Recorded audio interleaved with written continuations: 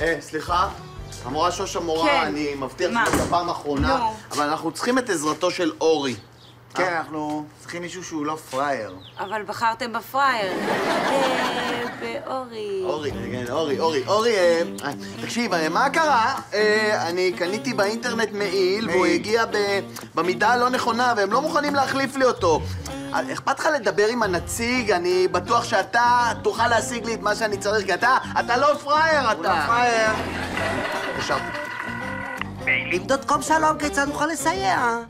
שלום, אה, חבר שלי הזמין. קיבלת את זה, הכל בסדר. למה? כי אתה לא פראייר. ידעתי שאפשר לסמוך עליך. למה? כי אתה לא פראייר, אתה. בדיוק, ועכשיו תדרוש גם פיצוי על עוגמת נפש. אני סומך עליך שתוציא פיצוי, כי אתה לא פראייר. שלום, ואני גם אה, אשמח בבקשה לדרוש פיצוי על עוגמת נפש. אתה עושה כבטה, אתה יודע שקריסטו נסחף. מה אתה חושב? עכשיו ייסחף עם הדמות. פיצוי?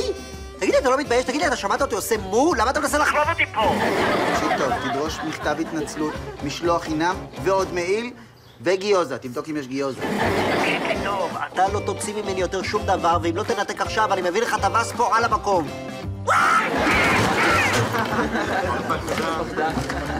הנה, חזרנו לפחתן.